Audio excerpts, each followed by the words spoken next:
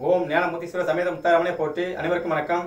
அனுபவம் மற்றும் அருளாக்கு ஜோதி செந்தில்குமார் முத்தாரமன் பேசுகிறேன் இந்த பதிவில் வந்து பன்னிரெண்டு ராசியில் பிறந்த ஆண்களுக்கு வந்து சுக்கர பகவான் வந்து உங்களுடைய ராசி மற்றும் லக்னத்திற்கு மூன்றாம் இடத்தில் தொடர்பு கொண்டால் மூன்றாம் இடத்தில் இருந்தால் மூன்றாம் அதிபதியாக வந்தால் இந்த மாதிரி அமைப்பில் இருக்கும் அன்பர்களுக்கு வந்து பார்த்தீங்க அப்படின்னா சுக்கரால் கிடைக்கக்கூடிய சுகபோகங்கள் வண்டி வாகனங்கள் அது போக வந்து பார்த்தீங்கன்னா திருமணம் சார்ந்த விஷயம் காமம் சம்பந்தப்பட்ட விஷயம் எல்லாமே வந்து தடை தாமதம் ஏற்பட்டு கொண்டே இருக்கும். இதில் ஒரு பிள்ளை இருந்து கொண்டே இருக்கும். இதிலே வந்து பார்த்தீங்கன்னா இளைய சகோதர சகோதரி உறவுகள் சம்பந்தப்பட்ட விஷயத்தில் வந்து அடிக்கடி கருத்து வேறுபாடு ஏற்பட்டு கொண்டே இருக்கும். இவங்க வந்து வீடு வண்டி வாகனம் எல்லாமே அமைச்சிருவாங்க. அமைச்சு முடிச்சவங்க பார்த்தீங்க அப்படின்னா அதில் ஒரு பிரச்சனை இருந்துகிட்டே இருக்கும். ஒரு தோஷத்தை வெளிப்படுத்தி கொண்டே இருக்கும். முழுமையாக சுக்கரால் கிடைக்கக்கூடிய சுகபோகம் அப்படிங்கிறது வந்து தடை ஏற்பட்டு கொண்டே இருக்கும். ஏன்னா மூன்றாம் இடம் அப்படிங்கிறது சுக்கர பகவானுக்கு வந்து மறைவு ஸ்தானம். மறைவு ஸ்தானத்தை சுக்கர பகவான் மறைஞ்சிட்டார் அப்படின்னாலே பெண்களால் உங்களுக்கு கிடைக்கக்கூடிய லாபங்கள் இருக்காது. சரிங்களா? அடுத்து வண்டி வாகனம் வீடு வாசல் சொத்து சுகம் சம்பந்தப்பட்ட விஷயத்துல ஒரு கேள்வி இருந்துடும் கல்யாணத்துக்கு வந்து போராடிட்டே இருப்பாங்க. திருமணத்துக்கு வந்து மாப்பிள்ளை பார்க்குறேன் பொண்ணு பார்க்குறேன் மாப்பிள்ளை பார்க்குறேன் பொண்ணு பார்க்குறேன். பார்த்துக்கிட்டே இருப்பாங்க பார்த்துக்கிட்டே தான் இருப்பாங்க. ஆனால் ஏற்பாட்டுக்கு ஏற்பாடு நடக்குமானா ரொம்ப காலதாமதமாகும். இது போல இருக்கிற அன்றலுக்கு வந்து எளிமையான ஒரு பரிகாரம். எந்த தெய்வத்தை வழிபாடு செய்தால் உங்களுக்கு வந்து சுக்கரான கிடைக்கக்கூடிய சுகபோகமான ஒரு வா- வாழ்க்கை ஒரு வண்டி வாகனம் ஒரு வீடு வாசல் சொத்து சுகம் எல்லாமே எளிமையாக கிடைக்கும் அப்படிங்கிறது வந்து தெளிவாக வேறமாக சொல்கிறேன் நண்பர்கள் வந்து வீடியோவை முழுமையாக பாருங்கள் ஸ்கிப் பண்ணாம பாருங்க தொடர்ச்சியாக பாருங்கள் சரிங்களா? நிறைய நண்பர்கள் வந்து வீடியோ பார்க்குறீங்க ரொம்ப ரொம்ப சந்தோஷமாக இருக்குது. நிறைய நண்பர்கள் வந்து வீடியோ சப்ஸ்கிரைப் பண்ணாம பார்க்குறீங்க ரொம்ப ரொம்ப சந்தோஷமாக இருக்குது. எப்படி பார்த்தாலும் எனக்கு பிரச்சனை கிடையாது. ஆனால் பார்க்குற அன்பர்களுக்கு வந்து என்னென்னு கேட்டிங்கன்னா முதல்ல வந்து நீங்கள் பார்க்குற அன்பர்களுக்கு வந்து என்ன கேட்டினா முதல்ல நீங்கள் வந்து நான் சொல்கிற பரிகாரங்களை தொடர்ச்சியாக ஒரு ரெண்டு மாதம் செஞ்சு பாருங்கள் உங்கள் வாழ்க்கையில் நல்ல மாற்றங்கள் பொருளாதார முன்னேற்றங்கள் இருக்கும். அதுக்கு நான் காரணமாக இருக்கணும். என் தாய் முத்தாரமாக நரலோடு அப்படின்னு ஆசைப்பட்றேன். அவ்வளோதான் சரிங்களா? சரி. இப்போ சுக்கிர பகவான் வந்து மூணாம் இடத்துல இருக்கிறார் அப்படின்னா கண்டிப்பாக உங்கள் சகோதரி உறவு வந்து வண்டி வாகன விவசாயம் அவங்களாம் சிறப்பாக இருப்பாங்க. மாமனம் சார்ந்த விஷயம்லாம் பாருங்கள் அவங்க சிறப்பாக இருப்பாங்க. ஆனால் உங்களுக்கு வந்து கேள்விகள் இருந்துக்கிட்டே இருக்கும். அடுத்து வந்து பார்த்தீங்கன்னா திருமணம் சார்ந்த விஷயத்தில் வந்து ஒரு பிழை இருக்கும். இவங்க வந்து எங்கே சாமி கும்பிடணும்னு கேட்டிங்கன்னா முதல்ல சுக்கர பகவான் மூணாம் இடம் சம்மந்தப்படுறாரு யார் சம்மந்தப்படுறாங்க பாருங்கள் சிம்ம ராசி சிம்ம லக்கணம். இவங்களுக்கு வந்து பார்த்தீங்க அப்படின்னா சுக்கிர பகவான் வந்து மூன்றாம் அதிபதியாக வருவார். மீன ராசி மீன லக்கணம். இவங்களுக்கு வந்து சுக்கிர பகவான் மூன்றாம் அதிபதியாக வருவார். இவங்களுக்கு வந்து சுக்கிர பகவான் எங்கே இருந்தாலும் நீங்கள் இந்த இந்த பரிகாரத்தை செஞ்சுக்கலாம். அடுத்து வந்து பார்த்தீங்கன்னா சுக்கரன் அப்படிங்கிற அந்த கிரகம் வந்து உங்கள் ராசி லக்கணத்திற்கு வந்து மூன்றாம் இடத்தோடு தொடர்பு கொண்டால் லக்கணத்துக்கு மூன்றாம் இடத்துல இருந்தாலும் சரி ராசிக்கு மூன்றாம் இடத்துல இருந்தாலும் சரி இந்த அமைப்பில் கண்களுக்கு வந்து இந்த பரிகாரம் கரெக்டாக வரும். சரிங்களா? எங்கே வழிபாடு செய்யலாம்னு கேட்டால் முதல்ல வந்து மூணு ரோடு சந்திக்கிற இடங்கள்ல இருக்கிற சரிங்களா? அந்த மாதிரி தெய்வங்கள் இருக்கான்னு பாருங்கள் அந்த மாதிரி தெய்வங்கள் கோவிலில் வந்து திரிசூலம் சரிங்களா? திரிசூலம் அப்படிங்கிறது தெய்வம் கையில் வந்து திரிசூலம் வச்சுருக்கோம்ல திரிசூலம் வேல் வச்சுருப்பாங்கல்ல அது வந்து வெள்ளியில் இருந்தால் ரொம்ப ரொம்ப சிறப்பு. அதே சமயத்தில் வந்து பார்த்தீங்கன்னா அந்த கோவில் வந்து தானாக சுயம்புவாக முளைச்சி வந்த கோவிலாக இருந்தால் ரொம்ப ரொம்ப சிறப்பு. மூன்றாம் இடம் அப்படிங்கிறது வந்து தானாக முளைச்சி எழுந்து வருவது. அப்போ சுயம்புவாக எழுந்தள்ளிய அம்பாள் தெய்வங்கள் இருந்தால் அந்த தெய்வத்தை நீங்கள் வழிபாடு செய்யலாம். அது ரொம்ப யோகம். ஆனால் அந்த தெய்வத்துக்கு வந்து பார்த்தீங்க அப்படின்னா வெள்ளி கவசங்கள் அணிந்திருந்தால் மிக மிக சிறப்பு. அதுலேயும் பார்த்தீங்கன்னா பக் பக்கத்தில் வந்து பார்த்தீங்கன்னா அந்த தெய்வம் கையில் வந்து பித்தளையிலையோ செம்பிலையோ சூ திரிசூலம் வேல் இருக்கிறதுக்கு பதிலாக வெள்ளி சூலாயுதம் இருந்தால் மிக சிறப்பு. அந்த கோவில் தான் உங்களுக்கு வந்து பர்டிகுலராக ரொம்ப பட்டை கிளப்பிக்கிட்டு இருக்கும். எந்த சூழ்நிலையிலையும் அந்த கோவில் போனால் உங்களுக்கு தடமாட்டம் வராது. சரி இது போல ஒரு கோவில் வந்து நீங்கள் சொல்கிற மாதிரி ஒரு கோவில் வந்து இந்த பூமியில் இருக்கா?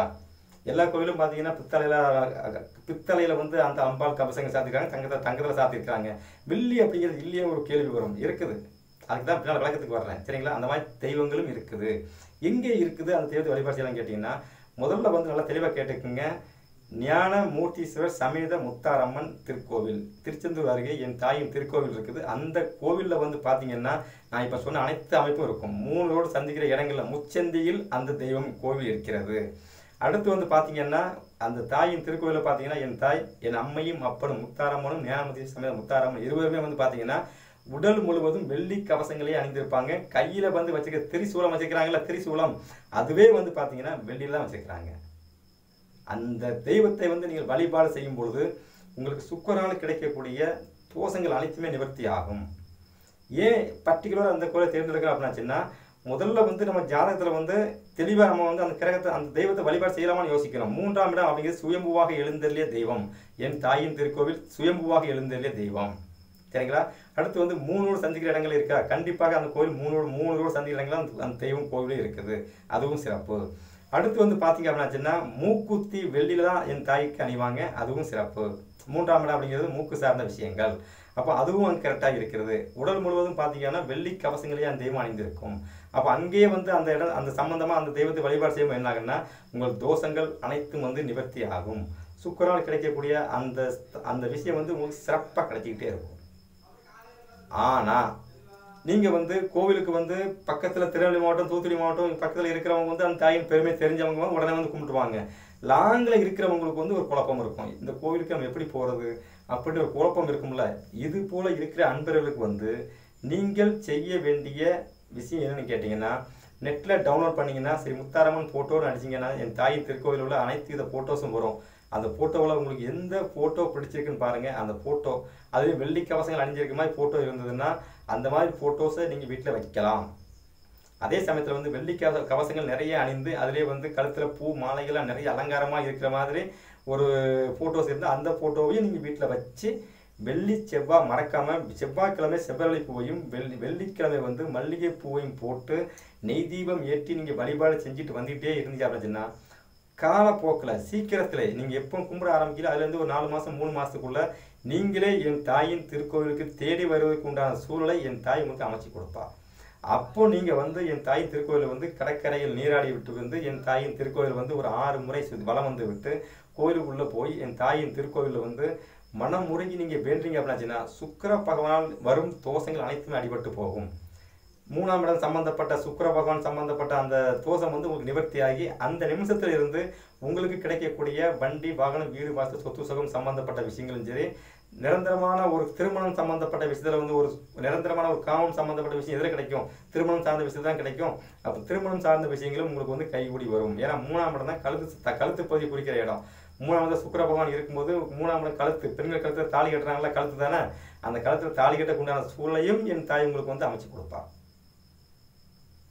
இந்த பரிகாரத்தை வந்து இந்த கோவிலுக்கு வந்து நீங்கள் வருஷத்தில் ஒரு தடவை வந்து கும்பிடலாம்.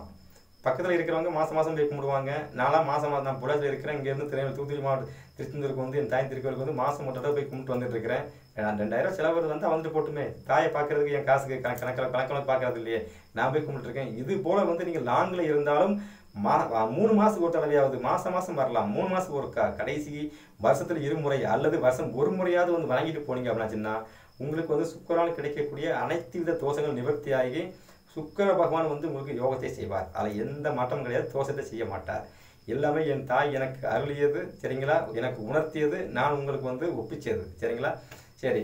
இது போல ஜோதிடம் சம்பந்தப்பட்ட பரிகாரம் ராசி பரிகாரம் நட்சத்திர பரிகாரம் எல்லாமே என்னோட சேனலில் நிறைய கொடுத்துருக்கிறேன். நண்பர்கள் போய் சேனலை பாருங்கள் தெளிவாக விவரமாக புரியும். எல்லோருக்கும் என் தாய் முத்தாரமாக நான் பரிபூர்ணமாக கிடைக்கட்டும். நன்றி.